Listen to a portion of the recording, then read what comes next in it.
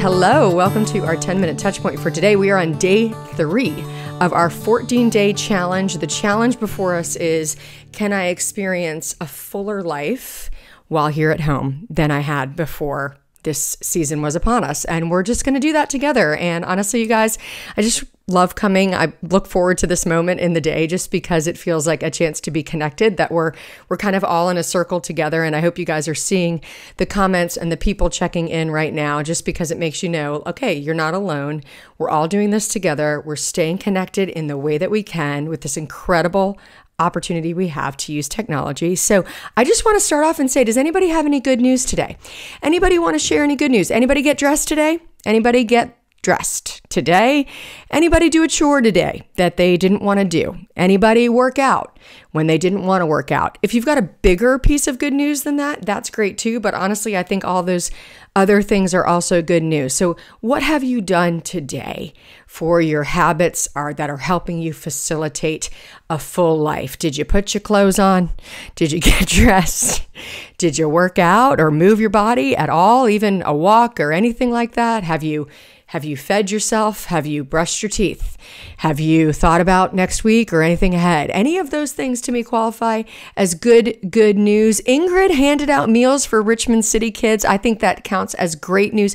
Ingrid, can you tell us a little bit more about how the vibe of that was? Because I've been thinking so much about that. Uh, Melissa wants us to know her daughter made homemade hand sanitizer today. Thank you. Please tell your daughter to set up a shop and start sending that stuff out. Uh, Sandy put on her Own the Struggle t shirt. It's a good time to own the struggle. Definitely great. I've got Positively Pixie who says she's blessed to work from home. I talked to another friend of mine who works from home who was like, hey, this isn't any different for me. I've already figured out how to do this, which is true. Those of us who have children at home are figuring out how to do this all the time. Uh, Melissa says that she, nope, Leslie said she took a kickboxing class. Leslie, I'm assu- assuming you did that online. If you want to drop the link for us, I will include that in my my next email. I want to make sure that you guys actually have some good connections and some good things to look forward to. And you're sending me the things that you're enjoying, and I'm cataloging those and putting those together for you. I've got lots of like dance YouTube playlists and dance uh, studios. That's good news for me, is I love all of these artists who are just releasing their work for free and giving us something to look forward to. And maybe if you remember um, in February, I was talking a lot about how we all need hobbies was it prophetic? do we all need some hobbies? We do need some hobbies right now. So I'm so glad. Ingrid says uh, that feeding the kids was great, and everyone, everything, everyone was so great, grateful for it. It puts things in perspective. I love that, Ingrid. If you are in Richmond, let me know. I can include that link if that's something that you would be interested in doing. Jennifer is looking for some good yoga to do with elementary school kids. If you've got a link for that, please let us know so that um, we can share that with one another. I think it's going to be like this for a little bit longer. So I think we're going to need to keep on sharing those tools. And when you send them to me, I can then send them out to our whole family. So, Amazing stuff, you guys. So, so glad you're here.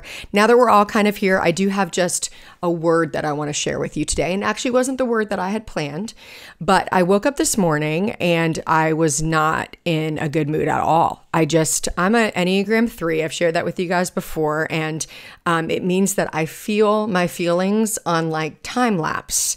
So I don't really feel the feelings when I'm having them. I feel them in reverse, like later. And what I'm trying to do is just close the gap between when I'm actually experiencing something and when I'm feeling it. And it takes real work to do that. It takes intentional work for me to do that. And so I've been thinking about how important it is that we feel our feelings. I was thinking about the is it in Big when Tom Hanks was like feelings, nothing more than feelings cuz we need to feel our feelings right now. Remember what I talked about yesterday that operating system is working at a very high capacity. So we we actually might be experiencing more of recognizing that we do make decisions and think through our feelings. As it's as if we have a filter that is in the front of our mind. And so first thing we do is feel what we're experiencing and then we make decisions. So imagine if you're not in touch with what you're feeling and then you're making decisions then you're going to be making decisions that aren't necessarily the best ones for you. So we want to be able to get in touch and harness what those feelings are. And so many of us shut down feelings because there's been lots of of studies on emotion to kind of break down what are the basic emotions of, of the human psyche. Some people say three, some people say five, seven, ten, up to 27 basic emotions. In my books, I've written about the idea that three basic emotions is where we can start from bad, sad, mad um, on the on the sort of negative side, and then there's happiness. And even if you look to kind of saying that the basic emotions are six or eight emotions, six of those eight emotions are going to be negative emotions: disgust, anger, um, fear, sadness, grief. Like there's so many more emotions on the negative side than there is on the positive side. Yet we we have such a hard time feeling our feelings, and feelings aren't the best way to make decisions. But it's also not great to make decisions without your feelings because guess what? You're feeling them. Whether you know that you're feeling them or not, you are feeling them.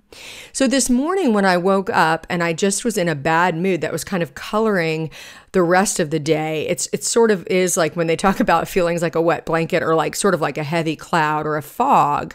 And that fog was making me lose hope in what the day was going to bring and kind of giving me just a sort of worst case scenario feeling about the life we're in and what's happening right now. And it was literally dampening every thought that I was having.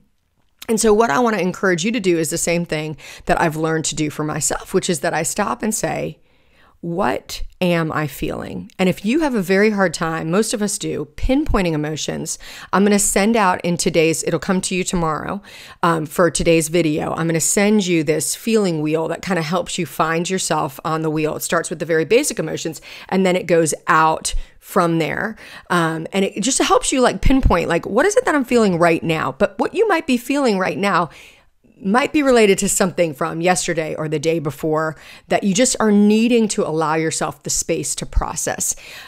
Emotions to me are like squirrels. They're running around in your soul. They're all around the place. And if you try to just like harness your emotions, uh, who harnesses a squirrel? You can't harness you can't harness a squirrel. You can observe a squirrel. And you can be like, what's the squirrel up to? What's the squirrel doing?